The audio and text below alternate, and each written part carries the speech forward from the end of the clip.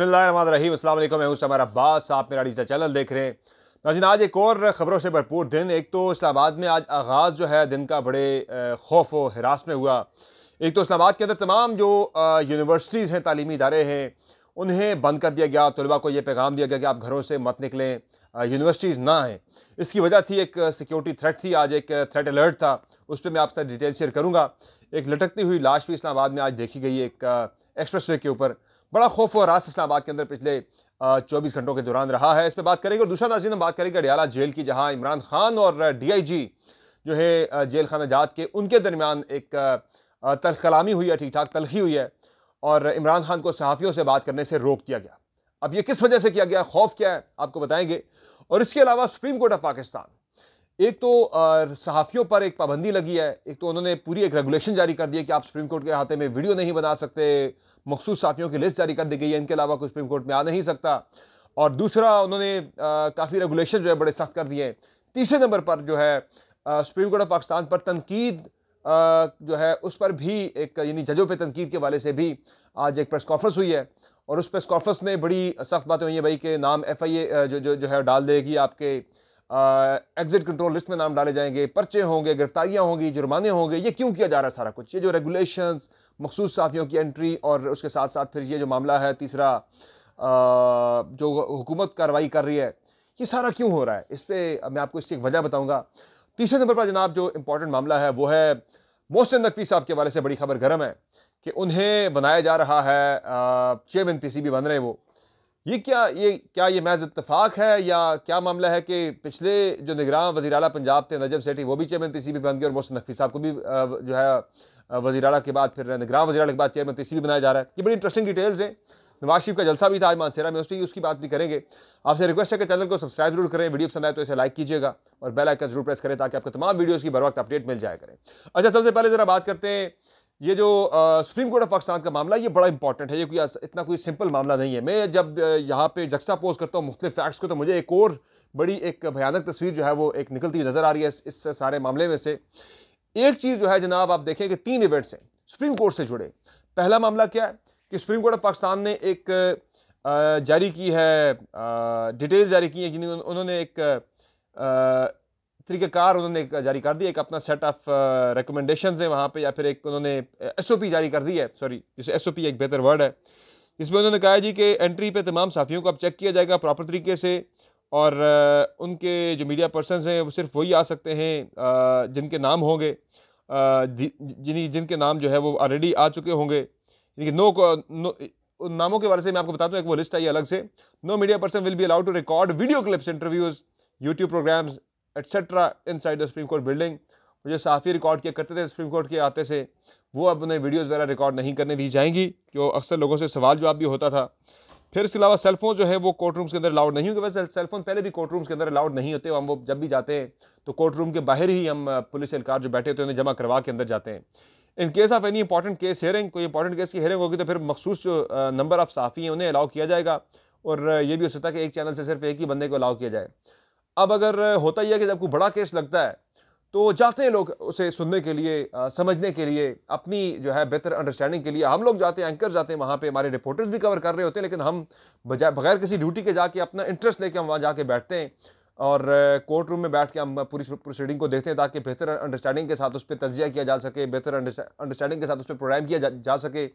अब जो है वो एक चैनल से एक ही बंदा जो है वो अलाउ किया जाएगा बड़े इंपॉर्टेंट केसेस की प्रोसीडिंग के बारे में। इंपॉर्टेंट केस में दोबारा से इसमें बड़ा हाईलाइट कर रहा हूँ। इंपॉर्टेंट केसेस के हवाले से ये ज़रा सख्त एस ओ पीज़ हैं, कुछ चीज़ें दूसरा जनाब जो इसमें मामला है, वो ये है कि एक लिस्ट जारी कर दी गई है कि वो लिस्ट में जो मौजूद साफ़ी है, सिर्फ़ वही आ सकते हैं और एक मुतबादल साफ़ियों की लिस्ट है कि अगर ये नहीं है तो फिर दूसरे जो है जो मुतबादल रिपोर्टर जो है वो चैनल अपने अपने नॉमिनेट किए कि भाई ये जा सकते हैं। चार पाँच नाम है जो कि डिजिटल मीडिया के लिए वहाँ से कर सकते हैं, कवरेज बाकी नहीं कर सकेंगे, वहाँ से किसी को अलाउ नहीं होगा। यानी ये बड़ी सख्ती की जा रही है सुप्रीम कोर्ट ऑफ़ पाकिस्तान की जानब से। अब दो चीज़ें ये हैं। तीसरी चीज़ क्या है? कि जजेस पे जो तनकीद हुई और आइंदा भी इस तनकीद को रोकने के लिए एक कमेटी बनी थी, पाँच रुकनी आज छः रुकनी कमेटी बनी थी, उसमें अब एक सातवें मेंबर नादरा के मेंबर को भी शामिल कर लिया गया है। और प्रेस कॉन्फ्रेंस भी की आज निगरान वज़ीर इतलात ने एफ़ आई ए के और दीगर जो इसमें जे आई टी के अरकान हैं, उनके महकमों के अफसरान के साथ। और उन्होंने काफ़ी इसमें बड़ी अहम बातें बताई हैं आज जो हमारे निगरान वज़ीर तलात हैं। उन्होंने ये कहा कि भाई अब सख्ती होगी और किसी को भी जो है इस तरह की जजेस पे तनकीद की इजाज़त नहीं होगी। नाम जो है वो डाले जाएँगे जिन जिन लोगों ने तेरह जनवरी का जो फैसला था, जिसमें बल्ले का इंतबी निशान तरीके हिसाब से ले लिया गया था, उसके तनाजुर में भी वो कह रहे हैं, हमने कुछ अकाउंट्स आइडेंटिफाई किए हैं, जो कि मुल्क के अंदर भी हैं, मुल्क से बाहर भी हैं, और उनके खिलाफ जो है वो एक्शन किया जा रहा है। नादरा के बंदे को भी इसीलिए डाला गया कि बंदे आइडेंटिफाई किए जाए, उनके एड्रेस उनकी ईच एंड एवरीथिंग पास आके पहुँचा जा सके। गिरफ्तारियाँ होंगी पर्चे होंगे जुर्माने होंगे, नाम जो है वो एग्जिट कंट्रोल लिस्ट में डाला जाएगा स्टॉप लिस्ट में नाम डाला जाएगा। ये डिटरेंस क्यों क्रिएट की जा रही है? ये डिटरेंट जो है वो क्यों पैदा किया जा रहा है कि लोग जो हैं वो जजेस पर तनकीद ही ना करें?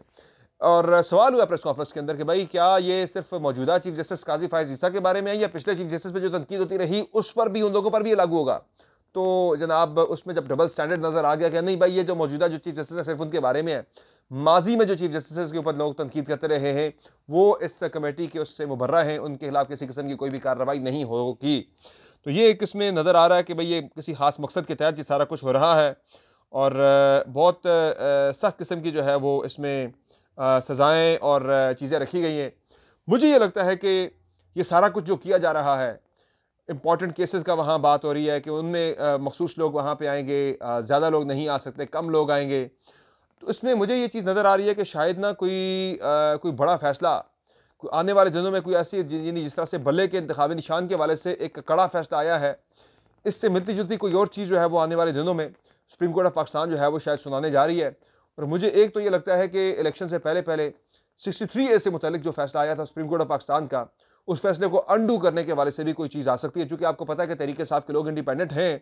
और दो उन्होंने अपने नॉमिनेशन फॉर्म्स के ऊपर जो है वो लिखा हुआ है कि वो तहरीक इंसाफ की के कैंडिडेट्स हैं, लेकिन ज़ाहिर है कंटेस्टिंग पार्टी जो है वो उसकी बात और होती है। जब आप लड़ ही एज इंडिपेंडेंट रहे तो फिर शायद वो चीज़ मौसर ना भी हो, लेकिन इसके बावजूद एक तो ये कर रही तरीके इंसाफ आज मैं देख रहा था। सलमान अकरम राजा साहब, जो कि एक मशहूर आदमी है, इनके बारे में तो कोई बंदा सोच भी नहीं सकता। बड़े असूली आदमी है, पाकिस्तान के बड़े टॉप के वकील है। कि ये कल को अपनी वफादारी तब्दील कर सकते हैं। इक्का दुक्का लोगों के ऊपर शक ज़रूर हो सकता है कि दस फ़ीसद आप चले कह लें, कि दस पंद्रह फ़ीसद लोग अपनी वफादारियाँ तब्दील कर भी सकते हैं तरीके साफ़ की जानब से इलेक्ट होने के बाद उनके जो इंडिपेंडेंट्स हैं, चूँकि नज़रें मैं आपको कल बता चुका हूँ परसों भी, कि पीपल्स पार्टी नून लीग तहरीक और जो अपना इस्तेकाम पाकिस्तान पार्टी है, ये सारी जमातें तहरीक इंसाफ के इंडिपेंडेंट्स के ऊपर बड़ी जो है ना वो नज़रें गाड़े बैठी हुई है कि भाई इनके बंदे हम तोड़ेंगे।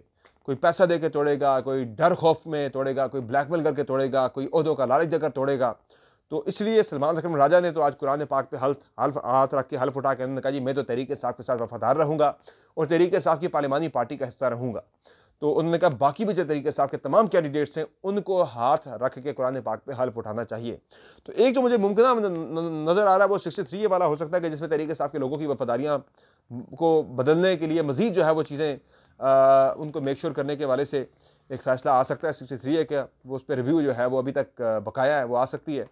और बाकी कोई भी किसी किस्म का कोई भी तल्ख फैसला आ सकता है, कोई बड़ा फैसला आ सकता है, जिस पे तनकीद और सारी चीज़ों को रोकने के लिए ये सारा अहतमाम किया जा रहा है।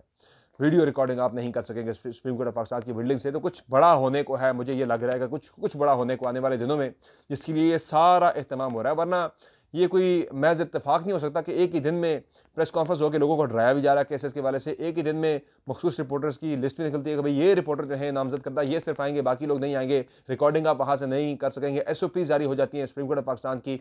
इससे पहले आप पिछले हफ़्ते देख चुके हैं कि यार के रिपोर्टर मोहसिन एजाज को सुप्रीम कोर्ट ऑफ़ पाकिस्तान के अहाते में दाखिल होने से रोक दिया गया था।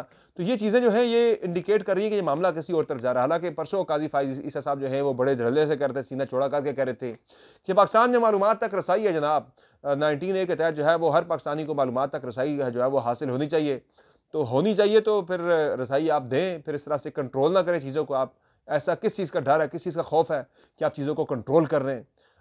इसके अलावा जनाब जो हैपनिंग्स हैं, एक तो जेल में आज इमरान खान और जेल के जो डी आई जी हैं, जेल खाना जात, अडियाला जेल में, उनके दरमियान बड़ी तलखलामी हुई। और इस पर निगरान वजी इतलात भी कह चुके हैं जी कि एक सजा याफ्ता बंदे तक हम मीडिया को रसाई नहीं दे सकते। ये एक स्टेट की पॉलिसी इंडिकेट कर रहा है कि स्टेट ने एक पॉलिसी बना ली है, चूँकि इमरान खान के जो बयान वहाँ से आ रहे हैं, वो बड़ी ट्रबल क्रिएट कर रहे हैं।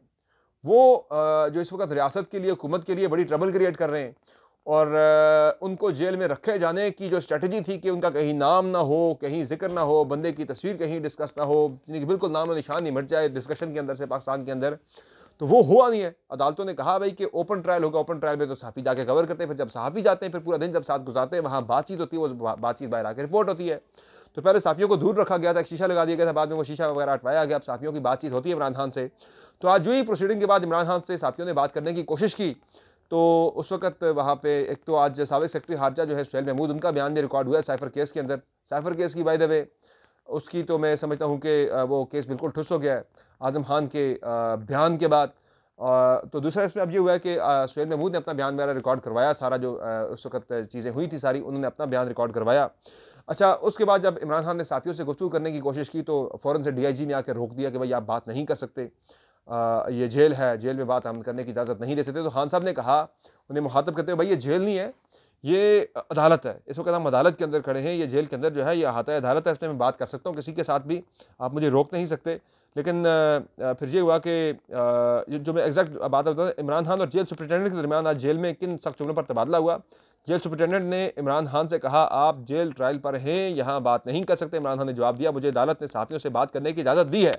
जिस पर जेल जेल सुप्रिटेंडेंट ने कहा, हमें अदालत की जानब से ऐसा कोई हुक्म नहीं मिला।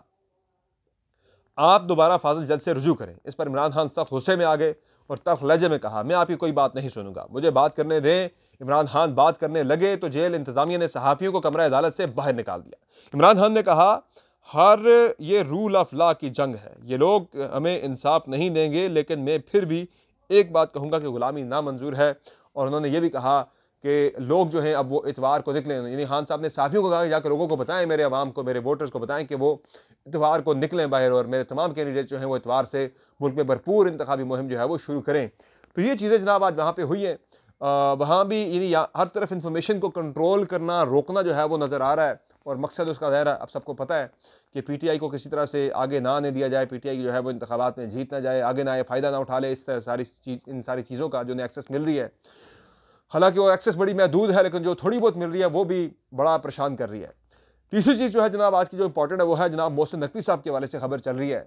और बड़े ज़ोर शोर से चल रही है कि मोहसिन नकवी साहब को निगरान वज़ी अजम अनवारुल्ला काकड़ ने पी सी बी में जका अशरफ की रिटायरमेंट के, जका अशरफ के इस्तीफ़े के बाद जो है वो चेयरमैन पी सी बी के लिए उन्होंने नामजद कर दिया है। और पी सी बी वो बोर्ड के मेंबर भी बन चुके हैं और इसके बाद वो चेयरमैन पी सी बी भी बन जाएँगे। इजाफी चार्ज फ़िलहाल मिलेगा और जो ही इलेक्शन होंगे उसके बाद वो जब चार्ज छोड़ेंगे निगरान वजी अला पंजाब का तो उसके बाद वो चेयरमैन पी सी बी बन जाएँगे तीन साल के लिए। तो ये एक बड़ी, यानी कि मैं समझता हूँ कि क्या ये एक महज इतफाक़ है कि जो बंदा निगरान वजी अला पंजाब रहे, उसके बाद वो चेयरमैन पी सी बी बन जाए। आपको याद है कि दो हज़ार तेरह में जब नजम सेठी साहब थे निगरान वजी अला पंजाब, उसके बाद नून लीग की हुकूमत आई थी, पर सेठी साहब जो है वो चेयरमैन पी सी बी बन गए थे। इस मरतबा बहुत से नकवी साहब हैं। निगरान वजी अला पंजाब और दोबारा से हुकूमत जो है, जो बताया जा रहा है जो बताया जा रहा है, जो हम देख रहे हैं, ट्रेंड देख रहे हैं, आवाम के वोटों से नहीं, सिलेक्शन होकर मुस्लिम लीग नून की हुकूमत अगर आती है पंजाब में, अगर नून लीग इलेक्ट नहीं, बल्कि सेलेक्ट होती है पंजाब के अंदर तो फिर जो है या सेंटर के अंदर भी तो फिर जो है वो मोहसिन नकवी साहब वजी पंजाब बन जाएँगे।